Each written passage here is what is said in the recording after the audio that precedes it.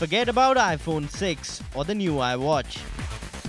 Apple's latest launch was all about software. Apple this week came out with the much awaited new operating system, the iOS 8, at their annual developers conference in San Francisco. With more than 4,000 new APIs, this was one of the biggest developer release by Apple. The new iOS 8 will offer a slight upgrade over the existing iOS 7 used by millions worldwide.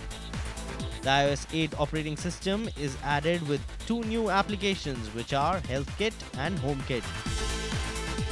HealthKit is set to revolutionize the health industry as it gives out data of vital stats directly to doctors in their clinic, while HomeKit is more of a home automation platform iOS 8 was not the only thing unveiled at WWDC 2014 by Apple.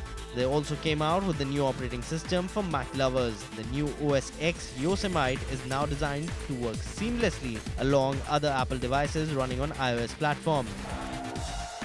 Yosemite will come with an improved internet storage application similar to those provided by Box or Dropbox. Users will now be able to pick up calls to iPhones from their Macs.